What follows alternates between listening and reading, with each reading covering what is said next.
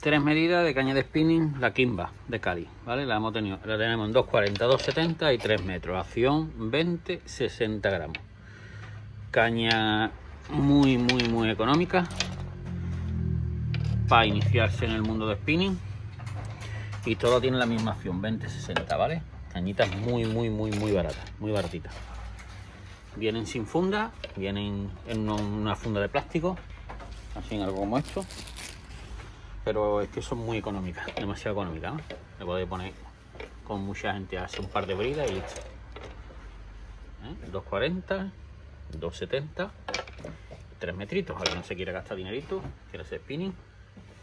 Aquí es un azulito, ¿eh? azul, azulita, eléctrico. Y aquí tenéis, para que la veáis un poquito mejor, las quimbas, ¿vale? Muy bonitas por lo baratas que son. 20, 60. Pega bombetas.